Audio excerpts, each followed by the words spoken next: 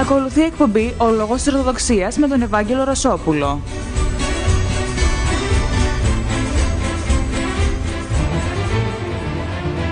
Καλησπέρα αγαπητοί ακροατές του Ερευνητικού Οργανισμού Ελλήνων. Για άλλη μια εκπομπή πάλι μαζί θα αναλύσουμε ένα θέμα σήμερα το οποίο λίγο το, λίγοι το γνωρίζουν, λίγους έχει απασχολήσει και ακόμα λιγότεροι ε, και τους ενδιαφέρει. Θα θυμίσω τα τηλέφωνά μας. Το 2313 022 040 μπορείτε να στέλνετε email στο radiopapaki elas.org και στη σελίδα μας στο facebook ο λόγος της Ορθοδοξίας. Είναι ο τρόπος επικοινωνίας μαζί μας για να διατυπώσετε όποιες απορίες και ερωτήσεις έχετε.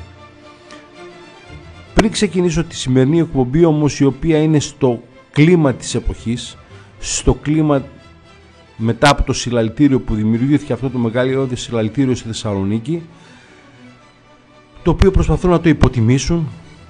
Ε, για μερικούς δεκάδες μίλησαν τα κρατικά κανάλια. Ε, άλλοι δεν δείξαν καθόλου άλλοι δείξανε ε, εκπομπές ανούσιες άσχετες και όταν μαζεύτηκαν τόσοι χιλιάδες κόσμος στο άγαλμα του Μεγάλου Αλεξάνδρου το αποσιώπησαν. Και όχι μόνο το αποσιώπησαν κάναν το αδύνατο δυνατόν για να το υποβαβάσουν να το εξευτελίσουν να το υποβαθμίσουν ε, να το διαπομπεύσουν να το διασύρουν και τι δεν κάνανε τα μεγάλα κανάλια; Ευτυχώς έχουμε ακόμα σε αυτή την χώρα ένα-δυο σταθμούς οι οποίοι μπορούν και μιλάμε και μιλάμε ελεύθερα και μας δίνουν βήμα και είναι πατριωτικά, είναι ε, πιστά κανάλια σε αυτή την ιδέα της πατρίδος. Αυτό, εκεί θα περιστραφεί σήμερα το θέμα μας. Ε, απλώς ήθελα να σας πω ότι καταφέραμε και βγάλαμε όλο αυτό τον όγκο ε, και τις πληροφορίες εκείνη την ημέρα με πολύ πολύ μεγάλο αγώνα παρά τις αντίξωες συνθήκες και την πολεμική που μας έγινε εναντίον μας. Ε, θέλω να επισημάνω κάτι. Είδε κανένα σας, κανένα νεοπαγανιστή ειδωλάτρη που λέγουν Έλληνε, ότι είναι Έλληνες να είναι στο συλλαλητήριο; Απόντες. Είδε κανένα σας, κανένα Γιαχοβά να είναι στο συλλαλητήριο; Θα μου πείτε τι ζητούσαμε εκεί πέρα, ταυτότητα ε, του καθενός ε, με τα θεολογικά του πιστεύω, ε, με, με τις θρησκευτικές του πεπιθήσεις; Όχι. Αλλά λόγω ότι δεν αποδέχονται το Σταυρό οι Γιαχουβάδες αρνούνται να σηκώσουν και την ελληνική σημαία. Και σε εκείνον του γαλάζια την καταιγίδα, σε εκείνον το χήμαρο του γαλάζιο που κατέκλυσε όλη την παραλία της Θεσσαλονίκης, ε, δεν θα μπορούσαν να παρευρίσκονται εκεί πέρα και να σηκώνουν ελληνικούς σταυρούς. Πάντως, τα κρατικά κανάλια της, ε, της Ιταλίας, από ό,τι έριξα μια ματιά που είχαν ανταπόκριση, ε, ανεβάζουν τον κόσμο μεταξύ 800 και 900 χιλιάδων. Το διακινδύνευσα λέει για να πούν ακριβή τον αριθμό γύρω στους 880.000. Ε, τα ισπανικά μέσα μίλησαν για 850.000 ε, οπότε αντιλαμβάνεστε ποιο ήταν το μέγεθος του συλλαλητηρίου ε, και όχι οι δεκάδες που μίλησε η ΕΡΤ.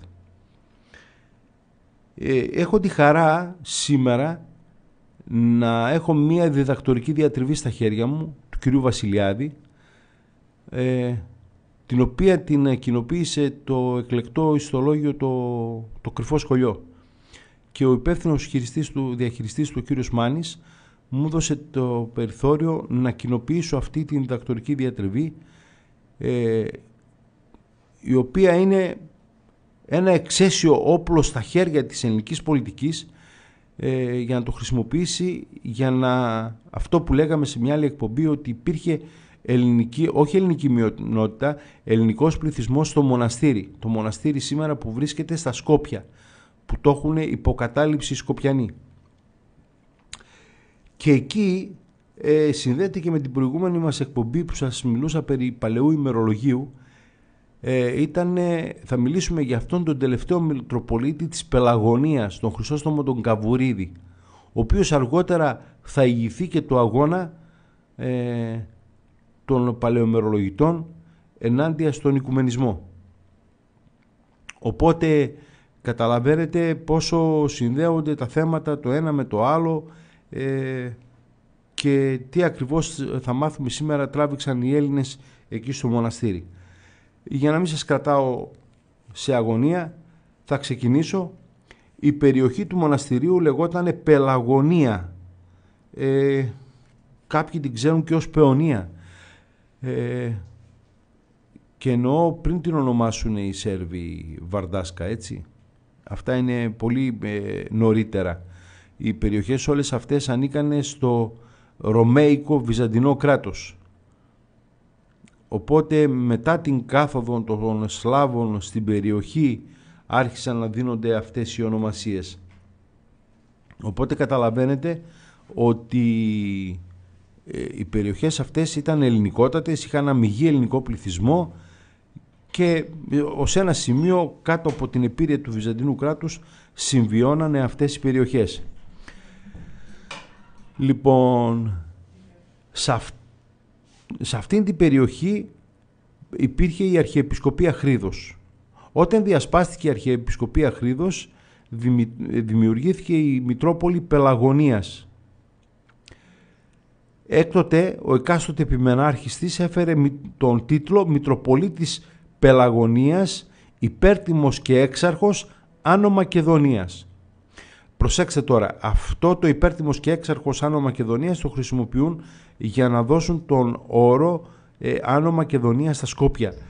Στην Άνω Μακεδονία αυτό που λέγανε στην, ε, ε, στον τίτλο της Μητροπόλεως ε, κατοικούσαν Έλληνες. Κατοικούσαν Μακεδόνες. Δεν κατοικούσαν Σέρβοι. Λοιπόν, πολλές σπουδαίες προσωπικότητας πέρασαν από αυτή την ε, Μητρόπολη, από τη Μητρόπολη Πελαγωνίας. Ο Κοσμάς ο Ευμορφόπουλος, ο Αμβρόσιος Σταυρινός, ο Ιωακήμ Φορόπουλος ε, και άλλοι πολλοί. Τώρα, αυτά τα θέματα που σας λέω δεν είναι ούτε πιασάρικα ούτε εμπορικά.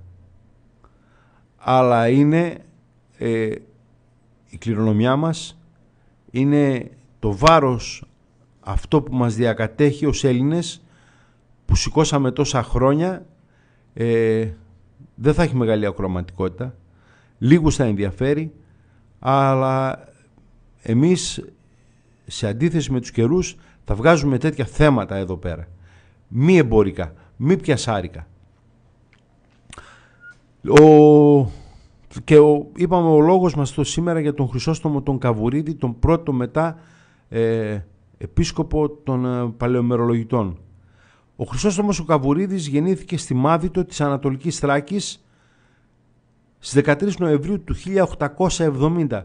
Η μέρα σημαδιακή 13 Νοεμβρίου είναι το Αγίου Ιωάννου του Χρυσοστόμου και επειδή ήταν η εορτή του Αγίου Ιωάννου του Χρυσοστόμου οι γονείς του τον ονόμασαν και Χρυσόστομος. Άρα το όνομα το έφερε από την βάπτισή του. Δεν είναι κατά την χειροτονία του. Αφού ολοκλήρωσε τις γυμνακιασιακές του σπουδές, εκεί στην μάδη του της Ανατολικής Θράκης, εγγράφηκε στην ε, Θεολογική Σχολή της Χάλκης, όπου τελειώνει ε, στις αρχάς, αρχάς του 20ου αιώνα, το 1901. Ε, τελειώνει δηλαδή αποφυτά από τη Θεολογική Σχολή της Χάλκης. Ε, πολύ με ζωντανό πνεύμα, πολύ έξυπνος, πολύ μελετηρός, ε, βαθιά ε, πιστός, ε, χειροτονείται διάκονος. Το 1901 μόλις τελειώνει την, ε, τις θεολογικές του σπουδές από τον Πατριάρχη Ιωακήμ τον Τρίτο ε, χειροτονήθηκε διάκονος και λίγα χρόνια αργότερα το 1908 χειροτονήθηκε και Μητροπολίτης Ήμβρου και Τενέδου. Τέσσερα χρόνια αργότερα ε, λίγο όταν αρχίζουν ε, το 1912 δηλαδή όταν αρχίζουν οι Βαλκανικοί πόλεμοι θα, θα επιλεχθεί και θα γίνει πιμενάρχης της, Μητροπόλης, της Μητροπόλεως Πελαγωνίας. Συγγνώμη. Εκεί στην ε, Μητρόπολη ε, τα πράγματα είναι τραγικά μεταβαίνει τον Ιούνιο του 1912. Τα πράγματα είναι τραγικά. Ε, θα χρειαστεί ορισμένες φορές να σε διαβάσω αποσπάσματα από την δακτορική διατριβή. Ε, θα μου επιτρέψετε και τη γλώσσα είναι σε ολίγοντη καθαρεβουσιάνικη. Ε, ό,τι χρειαστεί θα σας λέει, θα σας βοηθήσω εγώ σε αυτό το πράγμα. Λέει ότι στη δακτορική διατριβή ο κ. Βασιλιάδης βρήκε το πίμνιό του σε κατάσταση πανικού αφενός μεν από την καταπίεση των Τούρκων αφετέρου από τον πολιετή διωγμό από τους εθνικιστές σχισματικούς Βουλγάρους. Ε, οι Έλληνες εκεί στην περιοχή είπαμε είναι ε, εν μέσω Βαλκανικών πολέμων υπάρχει τουρκικό στοιχείο, υπάρχει και βουλγαρικό στοιχείο και έχουν συνεννοηθεί και καταπιέζουν και οι δύο, και οι Βούλγαροι και οι Τούρκοι το ελληνικό, το ελληνικό στοιχείο. Όταν αρχίζει όμως με την έναρξη του πρώτου Βαλκανικού πολέμου, ενώ οι Τούρκοι καταπίεζαν τους ελληνικούς πληθυσμούς, σε συνεννόηση με τους Βουλγάρους, επειδή αντιλαμβάνονται ότι μπορεί να έρθει ελληνικό στρατός στο μοναστήρι, γιατί έχει αμυγή ελληνικό πληθυσμό το μοναστήρι, αρχίζουν και φλερτάρουν με τους Έλληνες. Να παραδώσουν την πόλη στους Έλληνες και να μην την παραδώσουν στους Βουλγάρους. Μόνο και μόνο για ποιο λόγο; Γιατί ήξεραν ότι οι Έλληνες, εάν γινόταν οι κύριοι της πόλεως, δεν θα δίωκαν τους Τούρκους. Ούτε θα έκαναν αντίπεινα. Ενώ αν ερχόταν σε βουλγαρικά χέρια, παρόλο που ήταν σύμμαχοι ως ένα σημείο, φοβόντουσαν μετά τις βουλγαρικές θηριωδίες. Οι Τούρκοι λοιπόν, προύχοντες του μοναστηρίου, συνήλθαν σε σύσκεψη και μπρος στη διαφαινόμενη κατάληψη της πόλεως από τους Βουλγάρους, αποφάσισαν να συνοηθούν με τον Μητροπολίτη Χρυσόστομο λοιπόν, να παραδώσουν την πόλη στους Έλληνες. Μάλιστα ως δείγμα αυτής της ε, καλής, ε, καλής θελήσεως απελευθέρωσαν και 3.000 κρατουμένους που είχαν Έλληνες.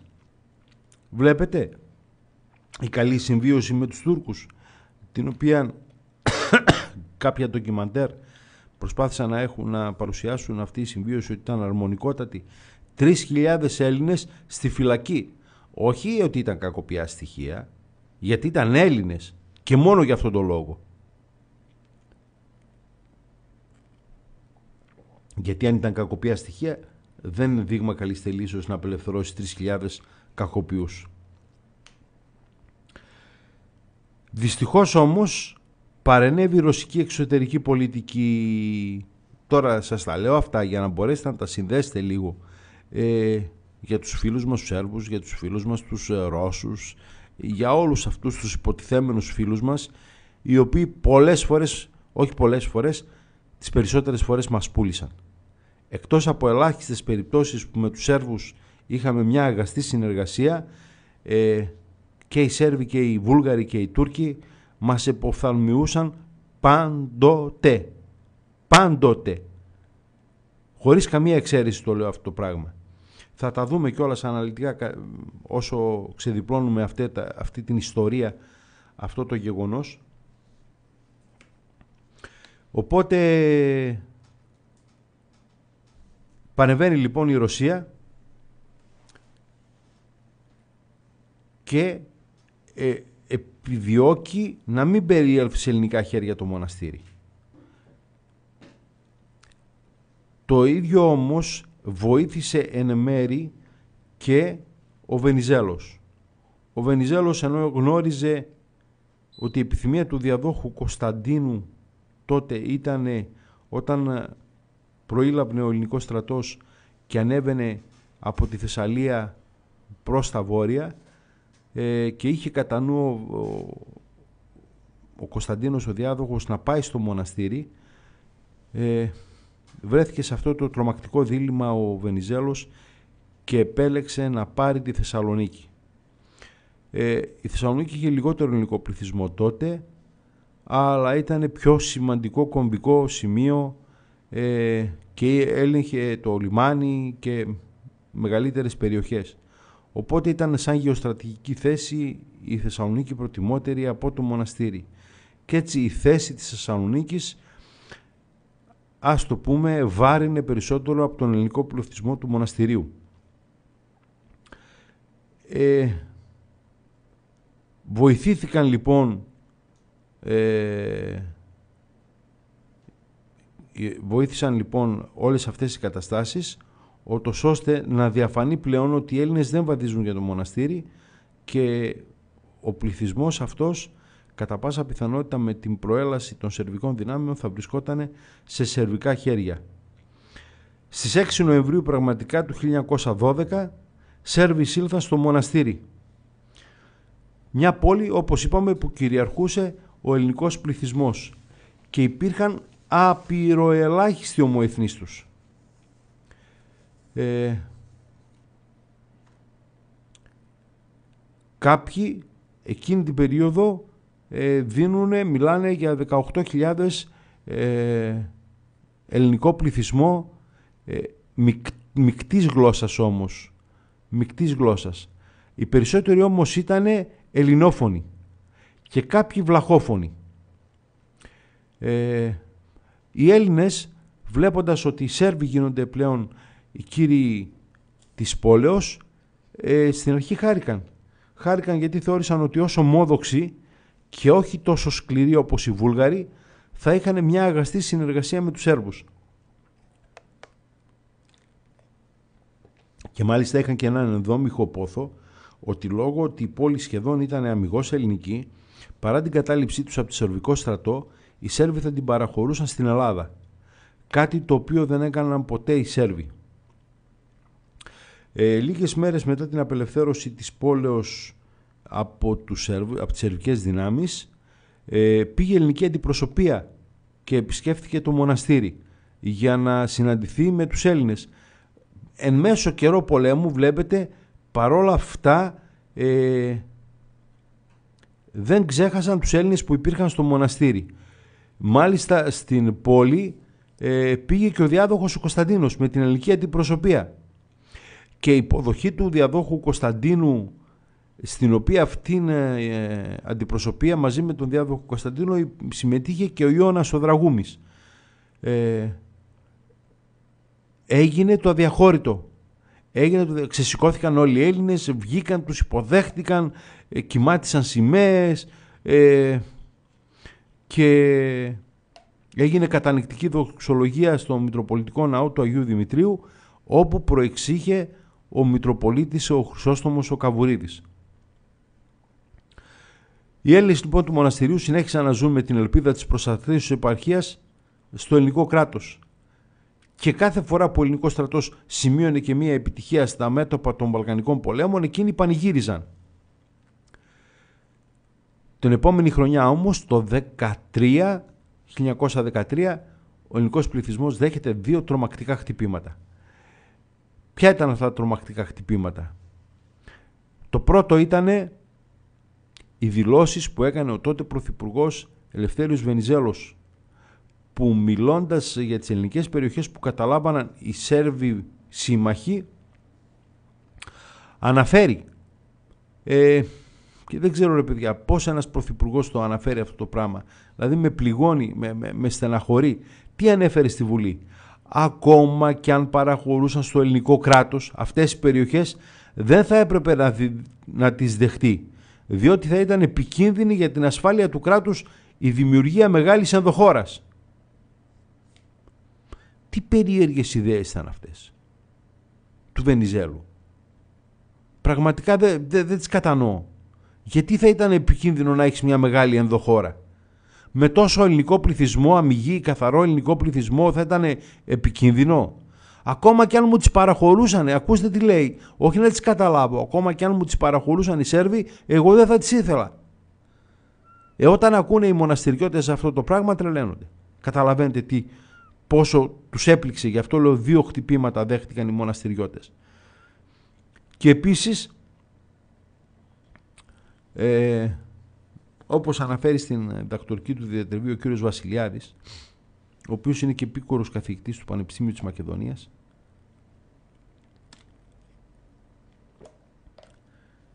αυτές οι δηλώσεις ε, ουσιαστικά δείχνουν την εγκατάλειψη των Ελλήνων εκ μέρους της ελληνικής κυβέρνησης.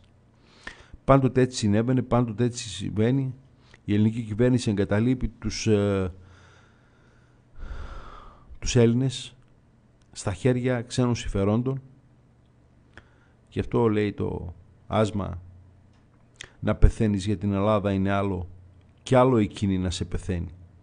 Πραγματικά τους σκότωσε τους μοναστηριώτες αυτή η απόφαση του Βενιζέλου.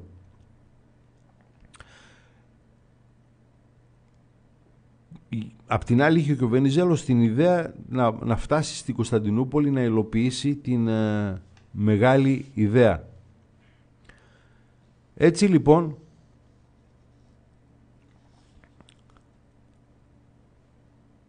οι Σέρβοι τώρα με το που καταλαμβάνουν το μοναστήρι έχουν στο μυαλό τους τον εξερβισμό των Ελλήνων. Να τους κάνουν Σέρβους. Το πρώτο ήταν να μην επιτρέψουν τη λειτουργία ελληνικών σχολείων με την, με την ε, προσδοκία να ξεχάσουν οι Έλληνες την ελληνική γλώσσα.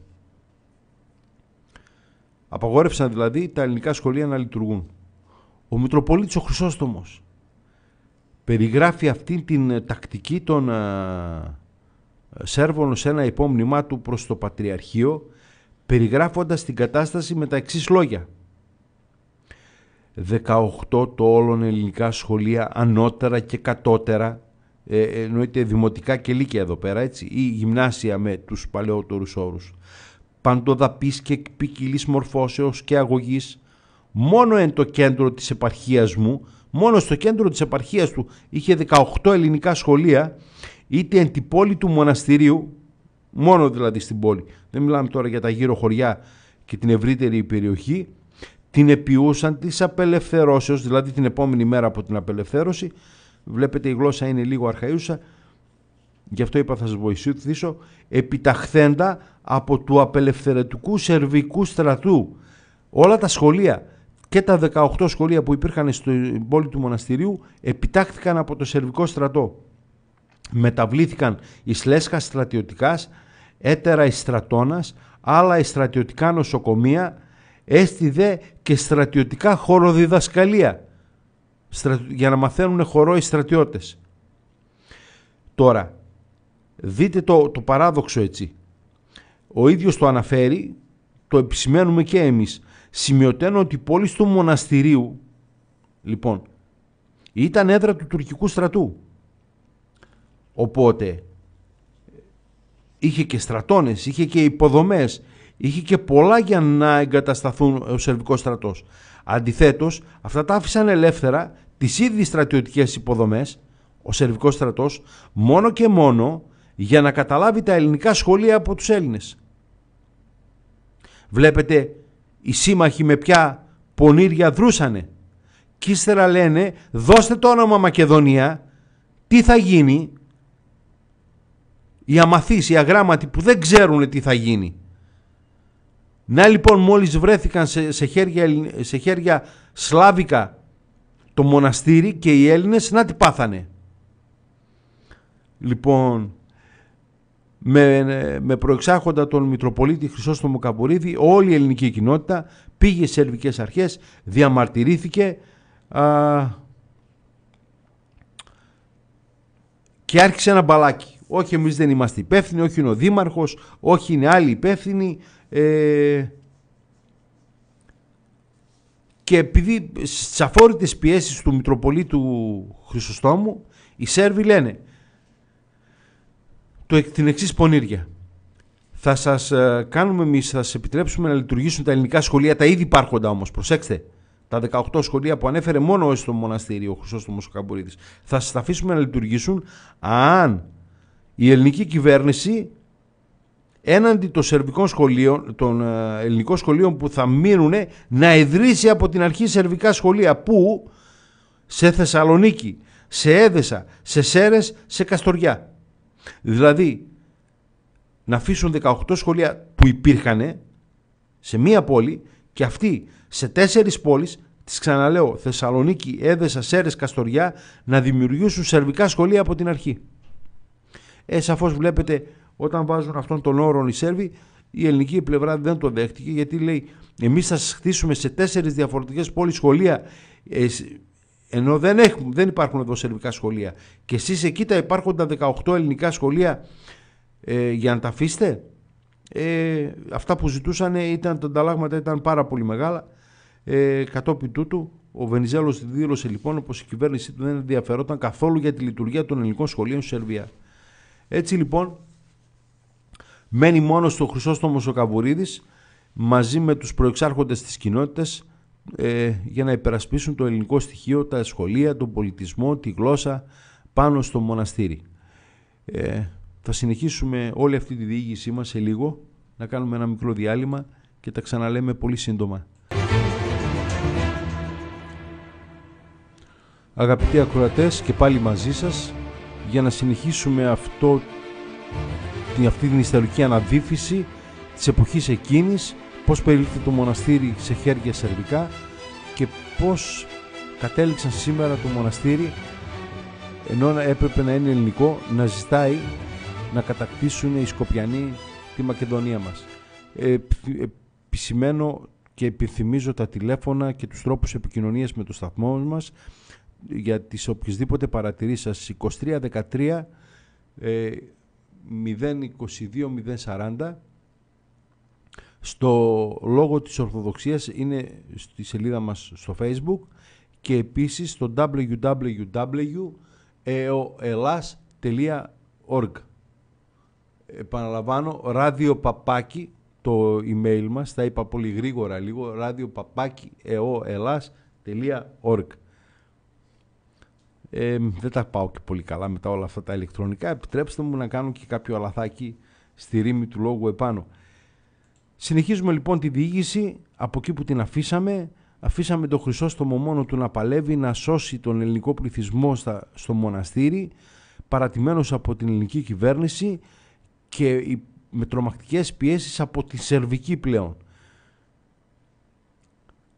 Εκεί τώρα επειδή βλέπουν ότι έχει πολύ στένος και πολύ κότσια ο, Χρυσόστομος ο Μητροπολίτης, τον πλευρίζουν οι Σέρβοι και τον ζητούν να ενταχθούν, να ενταχθεί ως Μητροπολίτης στη Σερβική Εκκλησία πλέον. Αποστέλει επιστολή στον Βενιζέλο όπου του εξηγεί ότι επιθυμεί η Σερβική πολιτεία να τον εντάξει αλλά ο ίδιος απέρριψε αυτή την πρόταση. Τον επόμενη χρονιά, το Φεβρουάριο του 2014, τώρα κοιτάξτε τι γίνεται από τη μία πίση στην άλλη. Ενώ έχουν πάρει τα σχολεία, τα έχουν επιτάξει τα σχολεία για το στρατό, ε, έχουν απαγορέψει τη λειτουργία τους, τώρα την επόμενη χρονιά η σερβική κυβέρνηση στέλνει δύο δασκάλους στο μοναστήρι για να εγγράψουν μαθητές. Στέλνουν οι Έλληνες κάτοικοι τα παιδιά τους, νομίζω ότι οι δάσκαλοι είναι Έλληνες. Αλλά όταν είδαν ότι αυτούς που απέστειλε η σερβική κυβέρνηση είναι Σέρβοι, δεν είναι Έλληνες, ε, αρνήθηκαν να εντάξουν τα παιδιά τους σε αυτά τα σχολεία γιατί θα μάθαιναν Σέρβικα. Αλλά τότε άρχισαν να τους λένε σοβινιστές οι Σέρβοι. Σοβινιστές μας λένε τώρα όταν υπερασπιζόμαστε τη γλώσσα μας, τον πολιτισμό μας, τη θρησκεία μας. Ε, είναι μια καραμέλα που τη μασάνε εδώ και πάρα πολλά χρόνια και μας τη λένε και μας τη λένε. Και πρέπει να θεωρούν τους εαυτούς τους ε, Σέρβους πολίτες και όχι Έλληνες. Και τι κάνουνε; Για να εξερβίσουν και τους Έλληνες πήραν λοιπόν τα, τα επίθετα τα ελληνικά και προσέθεσαν την κατάληξη «Ιτς». Λεγόσου Γεωργίου Γεωργίεβιτς. Βασιλείου Βασιλίεβιτς. Οπότε βλέπετε πώς προκύπτουν τώρα τα ε, εξερβισμένα ελληνικά ονόματα. Και ακούς τα ονόματα των ε, πολιτικών τους ή ακούς τα ονόματα των κατοίκων και είναι αυτό το πράγμα. Ένα ελληνικό όνομα με μια κατάληξη ΙΤΣ. Γιατί πήραν τότε και τους γράψαν υποχρεωτικά, τους δώσαν αυτή την κατάληξη ΙΤΣ. Για να φαίνονται σερβικά τα ονόματα. Δεν μιλάμε για το Ιμπραήμοβιτς παραδείγματος χάρη, αλλά όταν είναι Γεωργίεβιτς καταλαβαίνετε ότι είναι ένα ελληνικό όνομα το οποίο εξερβίστηκε δια της βίας. Ο Χρυσόστομος θα διαμαρτυρηθεί. Θα πάει όπου μπορούσε να πάει ε, στον επιθεωρητή του σχολείων. Αυτός είπε ότι πρώτη να απουσιάζει. Το στείλαν στο Δήμαρχο, ο Δήμαρχος δήλωσε αναρμόδιος και οι Σέρβοι προβαίνουν πλέον σε μια σκλήρηση της στάσεώς τους. Όπου βλέπουν παιδιά στο δρόμο, τα αρπάζουν και τα εγγράφουν δια της βίας στα σερβικά σχολεία, απειλώντας όμως ταυτόχρονα και τους Έλληνες γονείς ότι αν δεν στείλουν τα παιδιά τους στα σερβικά σχολεία θα τους φυλακίσουν. Οπότε μπροστά σε αυτό το τρομακτικό δίλημα οι Έλληνες υποχρεώνονται να στείλουν τα παιδιά τους σε σερβικά σχολεία. Και αφού πλέον έχουν καταλάβει και έχουν μετατρέψει σε στρατώνες τα ελληνικά σχολεία και επιτρέπουν μόνο τα σέρβικα να λειτουργήσουν, αρχίζουν. Κλείνουν τα ελληνικά ιδρύματα, τους συλλόγους, τις λέσχες, τις συντεχνίες και όλα τα σωματεία τα ελληνικά και όλη την ακίνητη περιουσία των Ελλήνων και όλα τα κτίρια τα πολλοτριώνουν και τα κατάσκουν. Οπότε αυτά τα δικαιώματα που εν μέρη είχαν επί Οθωμανικής Αυτοκρατορίας οι Έλληνες εκεί στο μοναστήρι τώρα με τους ομόδοξους Σέρβους τα χάνουνε. Ναι, επί Οθωμανικής Αυτοκρατορίας έστω παρόλο που είπαμε είχε 3.000 ελληνικό πληθυσμό στις φυλακές επέτρεπαν να λειτουργούν τα σχολεία, επέτρεπαν να λειτουργούν τα σωματεία. Τώρα οι Σέρβοι τα κλείνουν και κατάσχουν και τις περιουσίες των Ελλήνων. Ε, θα στείλει μια επιστολή ο Χρυσόστομος, ε, θα διαμαρτυρηθεί, θα ζητήσει βοήθεια από, τους, ε, από τις ελληνικές κυβερνήσεις, αλλά όπως είπαμε οι ελληνικές κυβερνήσεις, όπως γίνεται και σήμερα οι ελληνικές κυβερνήσεις έχουν εγκαταλείψει τον ελληνισμό των εκτός συνόρων αλλά και των εντός συνόρων. Μην νομίζετε ότι εγκαταλείπουν τον πληθυσμό τον ελληνικό, το ελληνικό έθνος μόνο εντός συνόρων αλλά και εκτός συνόρων ήταν τα νάπαλη, το αντίθετο. Και εκτός συνόρων και εντών. Τα τυχή, τα τυχή τέκνα λοιπόν λέει ο περιγράφει ο Χρυσόστομος στην επιστολή του μην έχοντας τίποτα άλλο να κάνουν κατά την εθνική ταύτιση φοράν ίντλουν, προσέξτε, ίντλουν έπαιρναν την μόνη παρηγοριά εκ της Ιεράς ημών Μητροπόλεως Μόνο από τη Μητρόπολη βρίσκαν πανηγοριά, που πουθενά από κανέναν. Ή της ως μήτρη φιλόστοργος απέσμιχεν, δηλαδή σκούπιζε εκ των ονομάτων των πεθούντων τα παρηγόρτα και θρυνούντων τέκνα της τα τακερά δάκρυά των, τα καυτά δάκρυά των. Ήταν η μοναδική παρηγοριά των Ελλήνων, η Μητρόπολη Πελαγωνίας και ο Μητροπολίτης ο Χρυσόστομος ο Καμπουρίδης αυτός ο ήρωας, αυτός ο Άγιος άνθρωπος ο οποίος κράτησε και ελληνισμό, κράτησε και ορθοδοξία γι' αυτό τον αναφέρω ε, εν μέσω καταιγισμών, εν μέσω δυσκόλων περιπτώσεων, εν μέσω εχθρών, παντοδαπών εχθρών, από παντού. Έτσι λοιπόν ε, έπρεπε να βγάλουν από τη μέση τον Χρυσόστομο οι Σέρβοι. Δεν τον ήθελαν καθόλου. Γιατί ήταν ο φάρος αυτός που στήριζε και φώτισε ε, τον ελληνικό πληθυσμό επάνω εκεί στο μοναστήρι, τον εγκαταλειμμένο ελληνικό πληθυσμό. Ξανα, ε, του γίνεται μια πρόταση να ενταχθεί στην ε, Σερβική Εκκλησία και μάλιστα να διατηρήσει όλα του τα δικαιώματα και του προσέφεραν και οικονομικά ανταλλάγματα. Φυσικά δεν εξαγοράστηκε ο Χρυσόστομος, αρνήθηκε. Τον διατάζουν τότε να παραδώσει τη Μητρόπολη και να εγκαταλείψει τη χώρα. Προσέξτε τώρα. Να παραδώσει τη Μητρόπολη και να εγκαταλείψει τη χώρα. Ενώ βρίσκεται στην κατοχή άλλου έθνους η πόλη. Ο Χρυσόστομος αρνείται και λέει ότι η Μητρόπολη δεν είναι δικιά μου να σας την παραδώσω η Μητρόπολη των Ελλήνων και έχει μια μακραίων ιστορία πίσω. Όταν μια Μητρόπολη αρνήθηκε να παραδώσει, γιατί δεν είναι δικιά του, δεν είναι διοκτησία του, ανήκει στους Έλληνες χίλια χρόνια πίσω. Και θα έρθείτε εσείς να την πάρετε, να την καταλάβετε. Και τώρα αντιστάθηκε και μια Μητρόπολη, έτσι. Εμείς δεν αντιστεκόμαστε για να παραδώσουμε μια ολόκληρη επαρχία, γιατί παραδίδοντας το όνομα Μακεδονίας στους Σκοπιανούς, παραδίδουμε ολόκληρη την επαρχία της Μακεδονίας στους Σκοπιανούς. Βορρά στα νύχια τους. Να τι κάνανε όταν βρίσκονταν υπό την ιδιοκτησία τους περιοχές. Πήγανε δια της βίας, απαλωτριώσαν τις ελληνικές περιουσίες, απαλωτριώσαν, κλείσαν τα σχολεία, κλείσαν τα σωματεία, τους πολιτικούς συλλόγους, τους απογόρευσαν τη γλώσσα, ε, τους ε, κατέσχεσαν όλα ό,τι είχαν και δεν είχαν. Τον διέταξαν λοιπόν να παραδώσει τη Μητρόπολη, αυτός αρνήθηκε, τον απείλησαν ότι θα χρησιμοποιήσουν βία.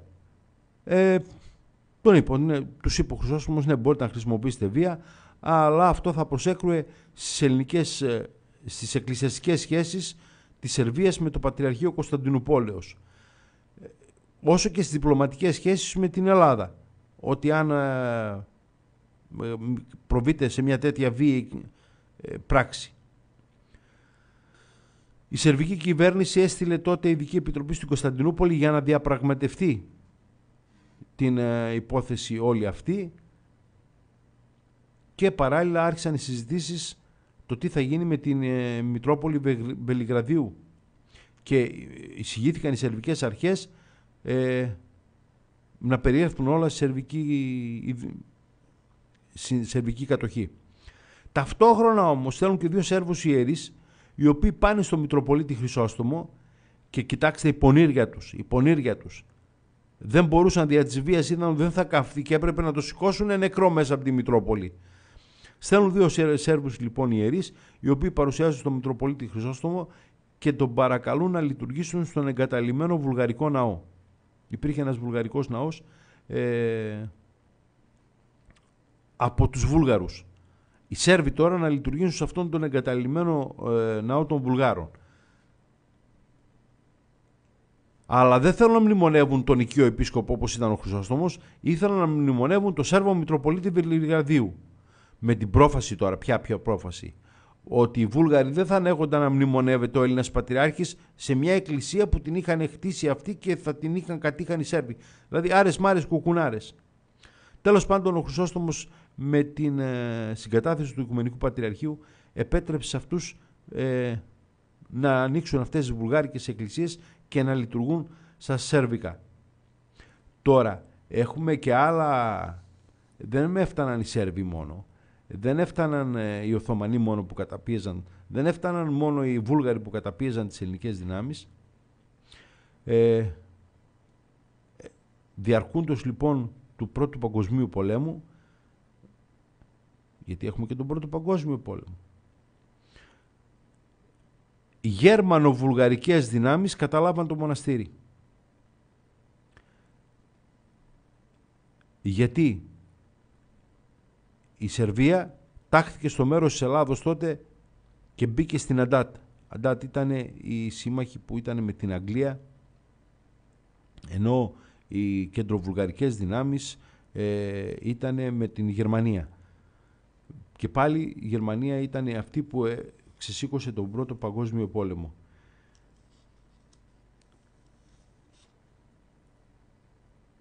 Παρόλα αυτά, Μπαίνουν οι Βούλγαροι μέσα στην πόλη, αρχίζουν και λένε ότι εμείς θα είμαστε φιλιρινικοί, δεν πρόκειται να πάθετε τίποτα,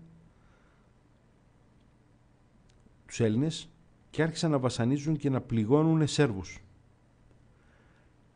Και αυτό γιατί το έκαναν, γιατί δεν ήθελαν να έρθουν με όλους τους πληθυσμούς απέναντι, ήθελαν να πούνε οι Έλληνες δεν κινδυνεύεται, κινδυνεύεται μόνο Σέρβοι.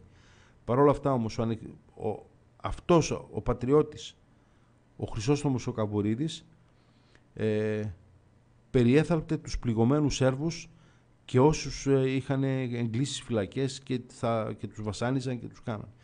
Το, το αποτέλεσμα να μπήκε στο μάτι των Βουλγάρων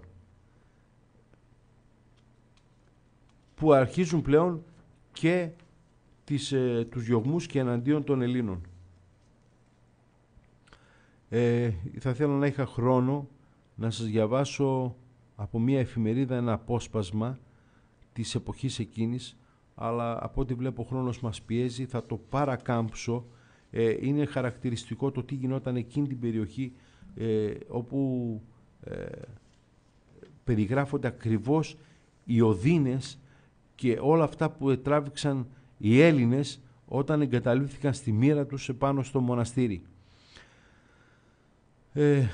Ε, ανακαταλαμβάνεται το μοναστήρι το 16 από τους Σέρβους και από Γάλλους και έτσι λοιπόν χάθηκε κάθε ελπίδα να βρεθεί η Ελλάδα κύρια του μοναστηρίου.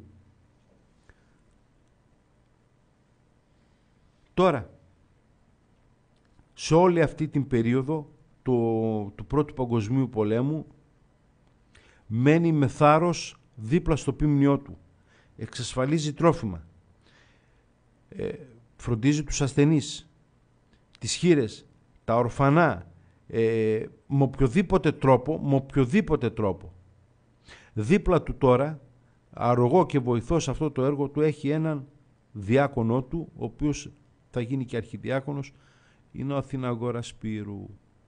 Αυτός ο Αθηναγόρας Σπύρου είναι ο μετέπειτα Πατριάρχης Αθηναγόρας, Κωνσταντινούπολεως, ο οποίος θα κάνει και την άρση των αναθεμάτων με τους παπικούς. Και εγώ αναρωτιέμαι πολλές φορές και λέω, δίπλα σε ένα τέτοιο Μητροπολίτη, δίπλα σε μια τέτοια ψυχή, τι κατάλαβε ο Αθηναγόρας; Όταν ζει σε ένα τέτοιο Άγιο άνθρωπο ο οποίος αρνείται να εξαγοραστεί, αρνείται να παραδώσει την ψυχή του και το πίμνιό του και τη Μητρόπολη του σε Βούλγαρους, σε Σέρβους, σε Τούρκους και τα βάζει με όλες αυτές τις εχθρικές δυνάμεις και βγαίνει αλόβητος τελικά από όλη αυτή την ιστορία. Αλόβητος ενώ ότι δεν το σκοτώσανε. Ε, φοβήθηκαν και να το σκοτώσουν. Βλέπετε πολλές φορές ο εχθρός σου όταν είναι τέτοιος έντιμος εχθρός διστάζεις και να τον σκοτώσεις. Ίσως φοβότανε ότι θα ξεσηκωνόταν το ελληνικό ε, στοιχείο εκεί στο μοναστήρι εάν τους σκότωναν τον επιμενάρχη τους ο οποίος τους ε, στήριξε σε όλες αυτές τις δύσκολες στιγμές. Τώρα, μετά από μια περίοδο είπαμε που πέρασε από βουλγάρικα χέρια βουλγαρογερμανικά περιέρχεται σε σέρβο-γαλλικά ε, η πόλη περνάει διάφορους ιδιοκτήτες ε, έχουμε και τους Γάλλους πλέον όταν αποκαθίστανται και ερμούν τα πράγματα οι οποίοι και οι Γάλλοι βλέπουν με καχυποψία τον Μητροπολίτη οι φίλοι μας οι Γάλλοι σήμερα, οι δυτικοί σύμμαχοι από τότε βλέπαν με καχυποψία τους Έλληνες και να έκανε και τίποτα το μόνο που έκανε υπεράσπιζε τους Έλληνες ε, που βρίσκονταν στη Μητρόπολη του. Και ξαναθέτουν πάλι ένα θέμα να, να αρπάξουν από τα χέρια των Ελλήνων τη Μητρόπολη της Πελαγωνίας. Ο Σέρβος Λομάρχης Νοβάκοβιτς επισκέφθηκε τον Μητροπολίτη Χρυσόστομο και του ζήτησε τώρα άλλο κόλπο. Είπαμε ζήτησαν δύο ιερείς Σέρβοι να λειτουργούν σε βουλγάρικες εκκλησίες. Τώρα πάει ο Νομάρχης και ζητάει να του παραχωρεί αναβδομάδα τον καθεδρικό ναό στους Σέρβους. Δηλαδή το Μητροπολιτικό Ναό του Αγίου Δημητρίου που είχαμε αναφέρει προηγουμένως που έγινε και η δοξολογία όταν πήγε η ελληνική ε, αποστολή επάνω ε, μία εβδομάδα να λειτουργούν Έλληνες και μία εβδομάδα να λειτουργούν Σέρβοι. Επειδή τα χαμπίθεν ο βουλγαρικός ναός είχε ζημίες εκείνους τους δύο από τους αρχικούς που είχαν πάρει ε, από τους βομβαρδισμούς. Ο Μητροπολίτης αντέταξε και είπε οι Έλληνες επισκέβασαν τον ναό γιατί και ο ναός του Αγίου Δημητρίου από τους βομβαρδισμούς είχε πάθει ζημίες. Ε, γιατί δεν πράττουν και οι Σέρβοι να διορθώσουν τους δικούς τους ναούς. Οι οποίοι Σέρβοι είχαν και τη βοήθεια της σερβικής κυβέρνησης ενώ ο Χρυσόστομος εκ των ενόντων, δηλαδή με ιδίες ε, προσπάθειες αποκατέστησε την ε, λειτουργία της Εκκλησίας από την ε, οβίδα που έπεσε μέσα.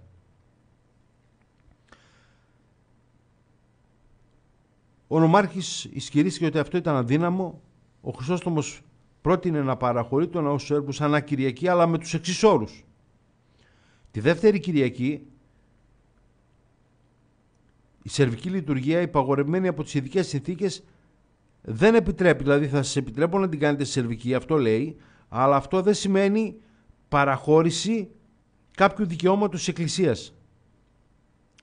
Και όταν θα πάψουν οι βομβαρδισμοί, αυτή η παραχώρηση που θα σας παραχωρώ εβδομάδα παραβδομάδα το Μητροπολιτικό Ναό θα λήξει. Δεν θα υπάρχει επέμβαση στα οικονομικά του ναού, αλλά και με οποιοδήποτε τρόπο το Οικουμενικό Πατριαρχείο δεν θα συνενέσει ε, ώστε να γίνει αυτή η μεταβολή της Μητροπόλεως από ελληνική σε σερβική. Ο Νομάρχης όπως ήταν λογικό και αναμενόμενο αντέδρασε, έφυγε οργισμένος από αυτή τη συνάντηση και απείλησε πάλι φανερά πλέον ότι θα εκδικηθεί το Μητροπολίτη με την πρώτη ευκαιρία. Ενώ ε, δεν είχε κάποιο λόγο, δεν έκανε κάτι αντισερβικό ο Μητροπολίτης ο Χρυσόστομος ο Καβουρίδης, δηλαδή δεν έκανε κάτι εναντίον των Σέρβων, το μοναδικό του που έκανε ήταν ότι υπερασπιζόταν τον ελληνικό πληθυσμό εκεί πέρα.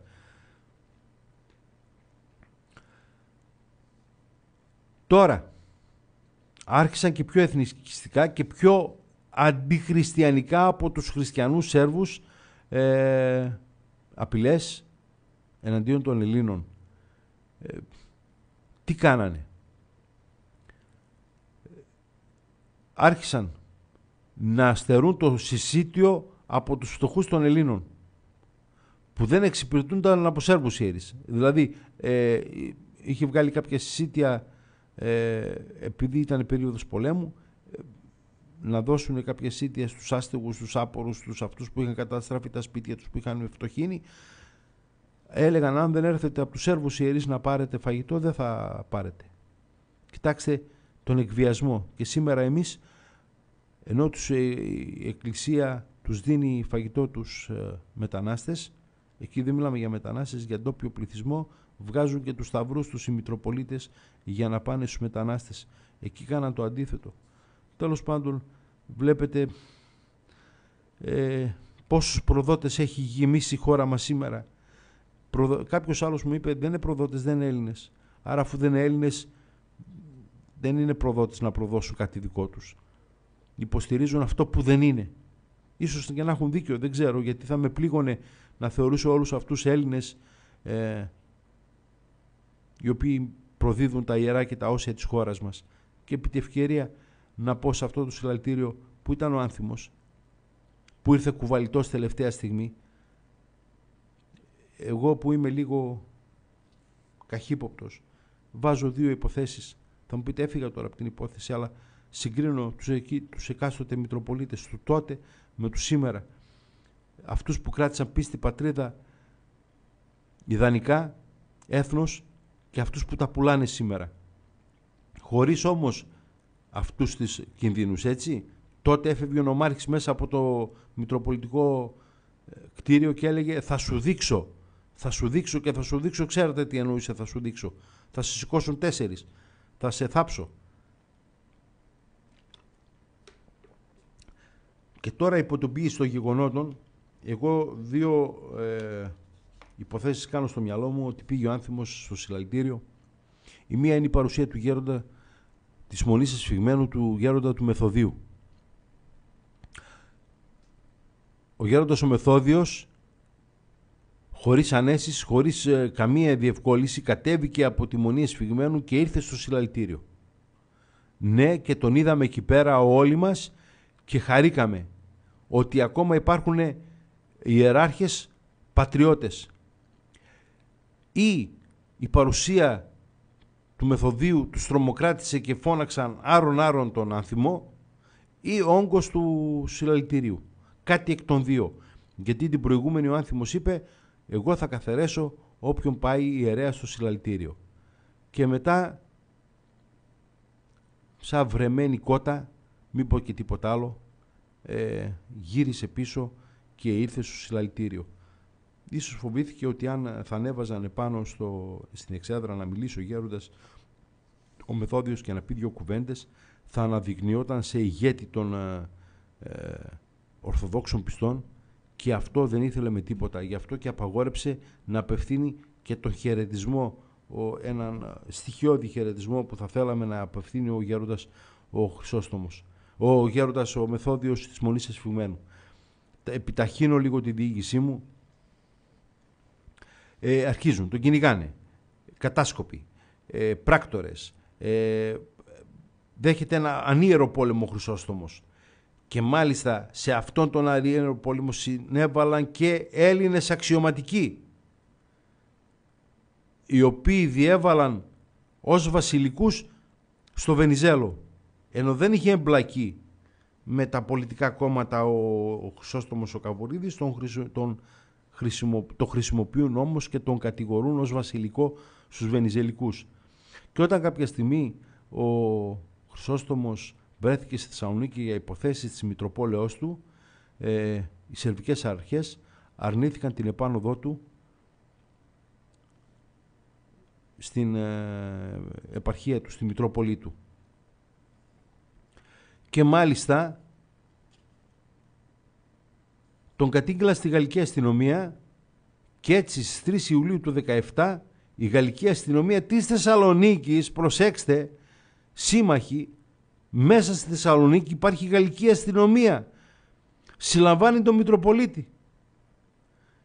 Και αφού αυτή ήταν η σύμμαχοί μας έτσι, οι οποίοι μας προέκυψαν από τους ε, Βαλκανικούς πολέμους και είχε, είχαν μείνει εδώ και υπήρχαν και Σενεγαλέζοι που τους είχαν κουβαλήσει οι Γάλλοι μαζί για να πολεμήσουν ε, σε αυτό τον ε, στους Βαλκανικούς πολέμους και στον Πρώτο Παγκόσμιο Πόλεμο και μετά τον παραδίδουν η γαλλική αστυνομία σε φρουρά Σενεγαλέζο. Δείτε ελληνική κυριαρχία. Δείτε σε ένα κράτος μέσα που άλλοι κάνουν ό,τι θέλουν. Κάνανε και κάνανε και κάνουν και σήμερα ό,τι θέλουν. Και οι κυβερνήτες μας μικροί, άσχετοι, προδότες, επιτρέπουν να κάνουν και σήμερα ό,τι θέλουν όλοι οι άλλοι. Πρόσφατα πάλι συνέλαβαν δύο πράκτορες των Σκοπιάνων μέσα στη Θεσσαλονίκη. Τέλος πάντων δεν θέλω να μπλέξω πολλά πράγματα γιατί θα σας μπερδέψω κιόλας. Και έτσι λοιπόν θα βρεθεί εκτός Μητροπόλεως ε, φυλακισμένος ε, από γαλλικές αστυνομίες, ε, από γαλλική αστυνομία και φρουρά σενεγαλέζικη θα βρεθείς ε, φυλακισμένος ο Μητροπολίτης ο Χρυσόστομος ο Καβουρίδης. Αυτό θα τον συνοδεύει πάντοτε σε όλη τη ζωή. Αργότερα θα φυλακιστεί. Όταν θα έρθει η ώρα θα πούμε για τους γιογμούς του πλέον τώρα εντός Ελλάδος. Όχι από τους Σέρβους, για τους γιογμούς του εντός Ελλάδος. Ε, τον κρατάνε μια εβδομάδα και μετά τον στέλνουν εξορία δια της βίας.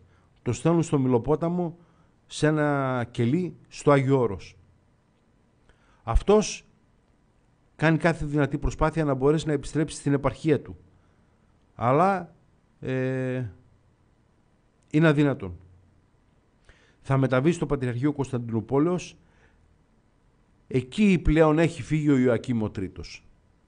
Και έχουν αλλάξει τα πράγματα και είναι στο τιμόνι της, ε, ε, του Πατριαρχείου ο Δωρόθεος Προύσης. Α, αυτός ο καλός ο άνθρωπος, ο οποίος είχαμε μιλήσει για την επιστολή του Δωροθέου Προύσης, ότι είχε ανατρέψει όλη την εκκλησιολογία και όλη την, τα ορθόδοξα, τους ορθόδοξους κανόνες και πιστεύω.